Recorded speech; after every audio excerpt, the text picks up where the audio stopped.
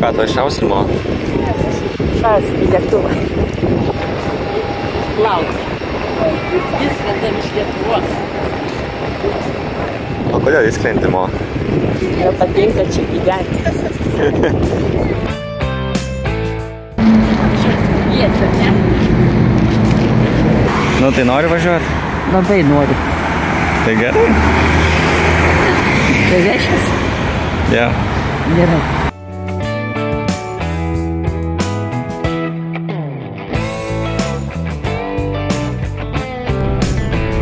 Nepamiršti, ne?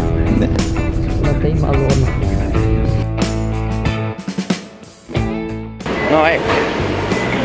Kur eini? Einam. Šitą mašiną naują? Eik, eik. Eik. Čia dar vežas.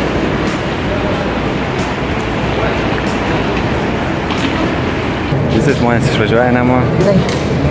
Nieko neliks. Ieškai geresnės vietos gyventi, ar ne? Gavau iškvietimą. Net nežinai, kur važiuoji iš tikrųjų. Skrendi tiksliau, ne?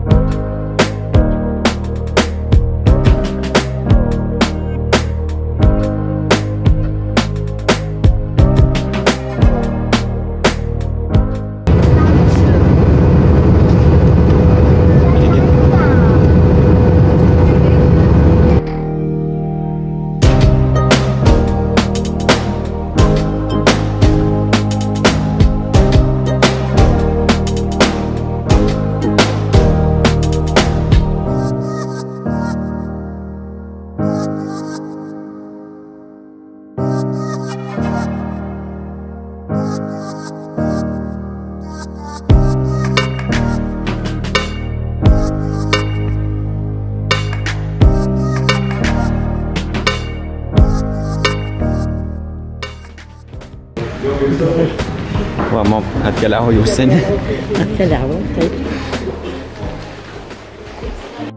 Atkeliavom, taip. Mo vlogų, kaip sakant, darau. Medžiagą renku.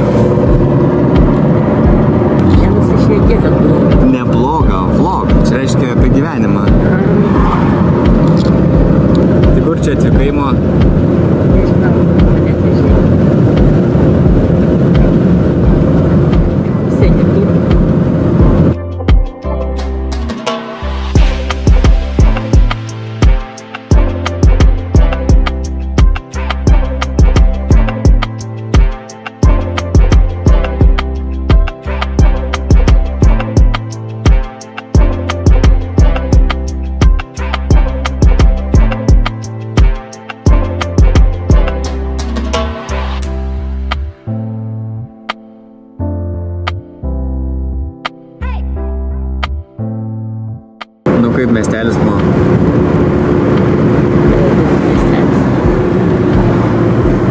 Nu tai kaip tu šitą krautuvę, mo? Svarbu, kad dėtus neliko ant galvos tai krautuviai. Galerija čia. Aha. Čia gali ateiti nusipirkti paveikslų. Gali ateiti pasižiūrėti. Svalgyti ledų. Kelionė. Gerai. Gerai. Lengvai. O gal? Ką čia pirksimo? Bulvės.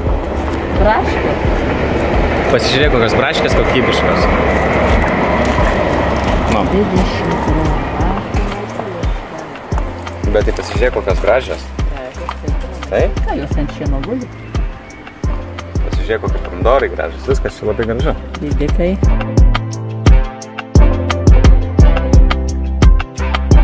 Pam, param, pam. Labas. A dar tik bulvės skutam. Jau reikėjo nuskustos, kad būtų. Viskas kaip tas paruošta čia. Jo.